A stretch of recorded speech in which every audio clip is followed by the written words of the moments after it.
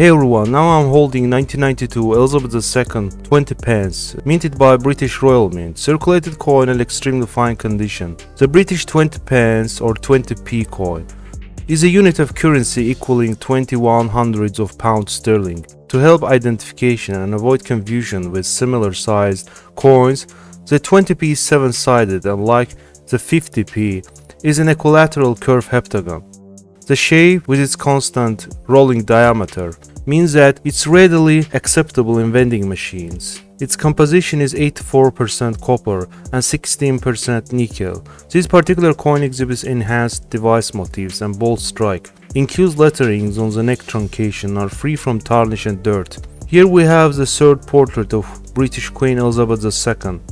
On the focal areas we see several tiny ticks. Major distraction is this notch at 12 o'clock and this gouge behind the bust. Reverse side has a splendid appealing with strong trace of mint reflectivity. Device elements are razor sharp, surfaces are free from mentionable contact marks, except several nicks on the outer edges. The mintage of 20p struck in 1992 is more than 31 million, therefore pretty common coin worth just face value at circulated grades. But according to NGC price guide, at Midday 67 they are worth $2.50, at MS68 $10, at MS69 condition $25.